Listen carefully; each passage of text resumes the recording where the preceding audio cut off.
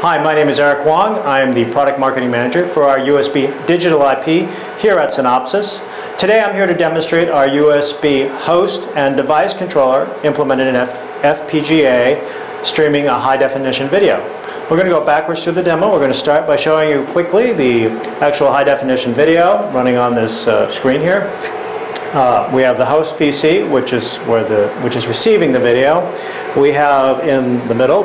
Uh, next, we have a LeCroy CAT-C analyzer that shows the super speed USB traffic, and we have the source of the video, our USB 3.0 device controller. So what we've actually done is we've taken the device controller, implemented it in an FPGA, and put that into the system. The system is our video source.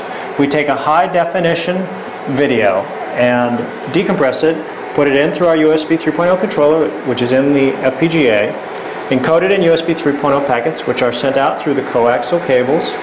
It goes from the coaxial cables into the LeCroy CAT-C USB analyzer. And we use this analyzer, of course, to take a look at the bus, look at packets, and show that we actually have super speed packets running, USB 3.0 packets. So you can see on the screen here the actual data flowing through with the video packets in it.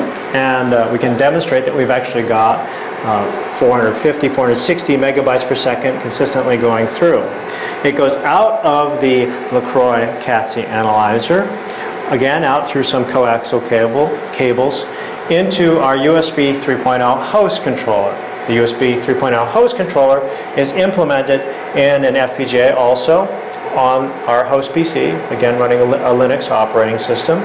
Uh, the packets are, the USB packets are interpreted by the host controller and the raw video buffers are sent into uh, the, the, uh, the operating system and then the video is displayed on the high definition display here. So we actually have 1080p, uh, 30 frame per second video being streamed from the device into the host, and we're able to measure a throughput of 460 plus megabytes per second in the streaming of this video. So we get the full video, uh, high definition video, and we also get the audio.